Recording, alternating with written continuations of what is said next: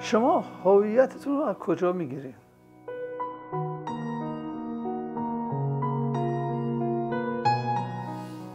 از تربیت.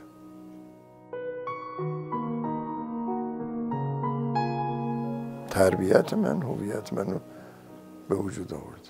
من یک جایی تربیت شدم که به من چیزهای آموخته و من دیدم اون چرا که به من آموختن ضرری به من نزده منفعتی به من زده و من این تربیت رو دارم هنوز باهاش زندگی می‌کنم.